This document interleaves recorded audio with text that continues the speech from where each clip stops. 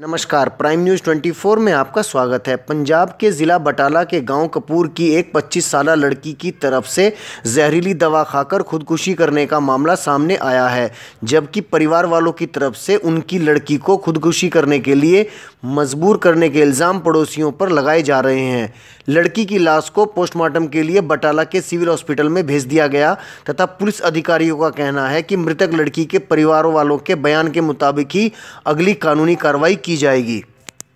ਜਿਹੜੀ ਡੈਥ ਹੋ ਗਈ ਉਹਨੇ ਜਿਹੜੀ ਚੀਜ਼ ਗਵਾਂਢੀਆਂ ਤੋਂ ਦੁਖੀ ਹੋ ਕੇ ਨਿਕਲੀ ਆ, ਉਹਨੂੰ ਫੋਰਸ ਕਰਦੇ ਰਹਿੰਦੇ ਜੇ 24 ਘੰਟੇ ਪਹਿਲਾਂ ਸਾਡੇ ਕੇਸ ਚੱਲਦੇ ਰਹੇ ਸੀ 379 ਬੀ ਦਾ 326 ਦਾ 23 24 ਉਹ 148 149 ਦੇ ਐਫ ਆਈ ਆਰ ਨੰਬਰ 126 ਬਟਾ 17 ਜੋ 1 ਸਾਲ ਪਹਿਲਾਂ ਹੋਈ ਸੀ, ਨਾ ਉਹਦਾ ਚਲਾਨ ਪੇਸ਼ ਹੋਇਆ ਅਜੇ ਤੱਕ ਉਹਨੇ ਉਹਨੇ ਉਹਨੇ ਦੁਖੀ ਹੋ ਕੇ ਗਵਾਂਢੀਆਂ ਤੋਂ ਸਲਫਾਸ ਖਾ ਲਈ ਹੈ। ਉਹਦਾ ਮੋਬਾਈਲ ਜਿਹੜਾ ਸਨੈਚ ਕੀਤਾ ਹੋਇਆ ਸੀ, ਉਹਨਾਂ ਖੋਇਆ ਹੋਇਆ ਸੀ ਨਾ, ਉਹਦੇ ਵਿੱਚ ਉਹਦੀਆਂ ਪਰਸਨਲ ਫੋਟੋਆਂ ਸੀ ਉਹਨੂੰ ਕਰਦੇ ਨੇ ਤੇ ਤੇਰੇ ਭੰਨ ਮਰੋੜ ਕੇ ਸੋਸ਼ਲ ਮੀਡੀਆ ਤੇ ਪਾ ਦੇਣੀਆਂ ਸੀ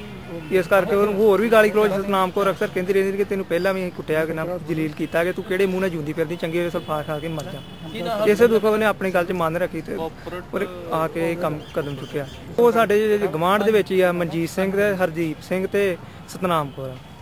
जिला गुरदासपुर के गाँव कपूर के रहने वाले तरुणवीर सिंह ने बताया कि मृतक लड़की हरप्रीत कौर उसकी बहन थी और अक्सर उनके पड़ोसी उसकी बहन को परेशान करते थे और उसकी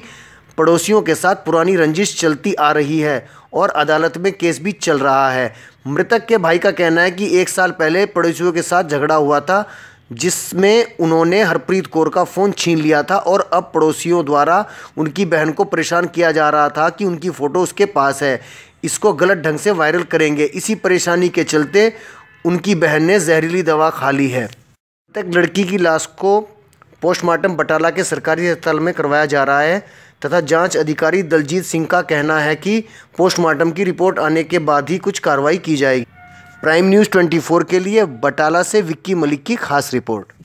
ਧਿਆਨ ਸਿੰਘ ਦੀ ਲੜਕੀ ਹਰਪ੍ਰੀਤ ਕੌਰ ਜੋ ਇਹਨਾਂ ਦੇ ਪਹਿਲਾਂ ਹੀ ਇੱਕ ਦੂਜੇ ਦੇ ਖਿਲਾਫ ਮੁਕੱਦਮੇ ਦਰਜ ਨੇ ਤੇ ਕੋਈ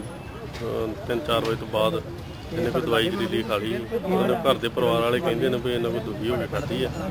ਤੇ ਇਹਨਾਂ ਹੋ ਅੰਮ੍ਰਿਤਸਰ ਦਾਖਲ ਕਰਾਇਆ ਸੀ ਅੰਮ੍ਰਿਤਸਰ ਤੋਂ ਬਾਅਦ 'ਚ ਉਹਨਾਂ ਕੋਈ ਕੱਲ ਸ਼ਾਮੀ ਕੋਈ 9 ਵਜੇ ਤੋਂ ਬਾਅਦ ਇਹਦੀ 8-9 ਵਜੇ ਤੋਂ ਬਾਅਦ ਮੌਤ ਹੋ ਗਈ ਹੈ, ਫਿਰ ਡੈਡ ਬੋਡੀ ਇੱਥੇ ਲੈ ਕੇ ਜਮ੍ਹਾਂ ਕਰਾਈ ਹੈ। ਇਹਦੀ ਪੋਸਟਮਾਰਟਮ ਹੋਣ ਤੋਂ ਬਾਅਦ ਅਗਲੀ ਕਾਰਵਾਈ ਅਮਲ ਚ ਲੈਣੀ ਜਾਏਗੀ